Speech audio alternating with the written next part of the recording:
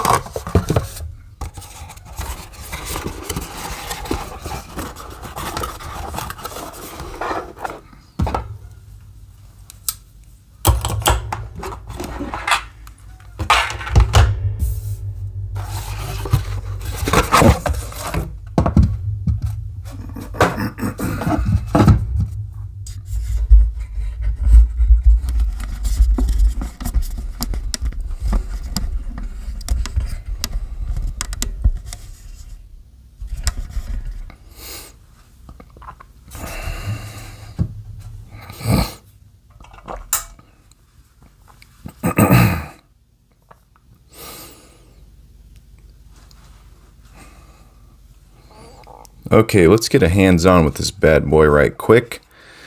So it's got a little button right here on the front. Looks like it has some indicator lights showing how full your system is, I'm guessing. It's got some lights on the side, branding on the front. I, I like the um, design of it. Got the power on and off on the back. That's good. USB 3.0. Got some grips on the bottom right here. Let's see if it, there we go. They seem to be quite grippy. My whole entire desk and camera are shaking right now. Um, it's got the toaster design. Um, on the pictures, this looks way bigger. This thing is is quite small. Um, I'll show you it next to a credit card. So it is not very big at all. Yeah. Um, but anyways, yeah, so it has the ability to do the smaller hard drives. You just slot it right down there or the full size hard drives here. Um, but we're going to be putting this thing to the test to see how fast it works and how efficient it works and just everything about it. I'm super excited about this. All right, let's take a look at this bad boy right quick. So one thing that I absolutely love is how quickly and easily you can just slot these things in like it's a toaster. Boom, in and out. But one thing I don't like is the fact that these are designed for full size 3.5 hard drives, not the half size. So I'm going to try to get this on the video correctly so you can actually see that it wobbles in there because this thing does not push out hard enough to lock this hard drive in place. So that that is right off the bat that's my first gripe about this thing. It just you don't feel like your hard drive is super super safe in there even though it is because it's just sitting and it's not moving. But this one over here is completely locked in. No worries whatsoever about it wobbling or anything. Um, it comes out almost as easily um, and it goes in I think, easier because it's the right size, basically. So, um, let me just show you these hard drives real quick. So you can see this is a smaller hard drive, um, maybe a newer hard drive. I'm not sure. This is an older hard drive, um, or maybe maybe it's the uh, the size. Let's see. That's a 640, and that's a 500. So I don't know, but the cool thing is that both of these hard drives were completely junk until Boomski, until I got this guy. So now I'm able to bump my my computer up to over a terabyte for $34. I cannot say enough about this thing. Um, another thing that's amazing is um, when they are in here and you're not doing anything with the hard drives, it is almost silent. And because they sit in here. Whoops. Am I doing that wrong? Oh, I'm doing it wrong. Okay, because they sit in here with this part facing up, all the heat dissipates super fast. So there's no need for a fan. That was one reason why I did not get the other one because the other one is a four banger and they, they the hard drives completely go inside of it and need a fan to run. And I already have to turn off my computer to record anything because it has a decent um, the fan is spins at a decent rate so it's quite loud. Um, so all in all, I would give this thing a five out of five stars. It does exactly what it's advertised to do, and it's just so straightforward. I like the fact that there's a power switch back here because sometimes you're like, I want to make sure I, I preserve my hard drives so they're not spinning all the time. Um, But another thing, another con is this hard drive is actually louder than the other hard drive. So when I go to do anything on this hard drive, I hear so you hear sounds that you don't normally hear when they're enclosed in a computer.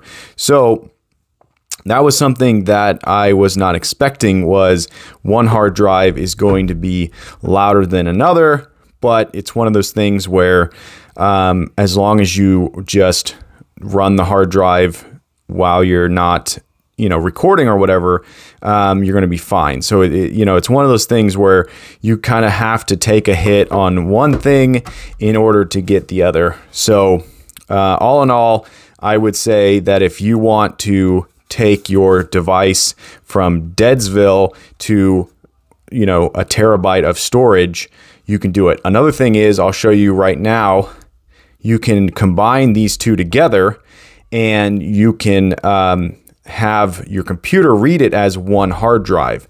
So essentially, instead of it being a 600 and a 500 or whatever, it'll be one terabyte of storage, and your computer will read it as so as such. So that's really cool. So you don't have to have multiple hard drive folders and whatever, you know, all that stuff. So that's really cool. Um, I'll show you how to do that right now.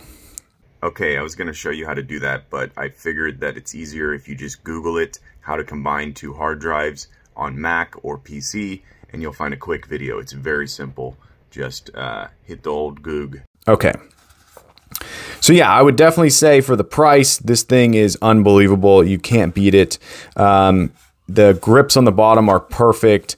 The uh, the look of it is is sleek and simple. The LED lights are very effective. They show you exactly when the hard drive is actually running, which is really good. Um, these indicator lights are great because they show you how full your hard drives are. So that's awesome.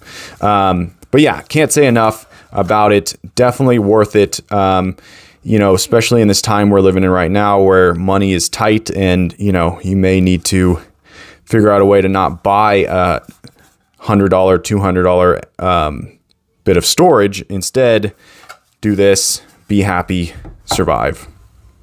All right, there you go. Hopefully that video helped you out. Hopefully it boosted your ability to have greater storage on your PC, on your Mac, whatever.